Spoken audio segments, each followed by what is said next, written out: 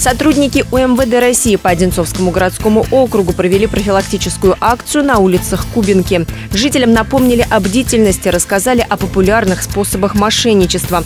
Один из самых распространенных – звонок с целью узнать данные банковской карты или вынудить перевести деньги на незнакомый счет. Самая незащищенная категория – пожилые люди, предупредили полицейские.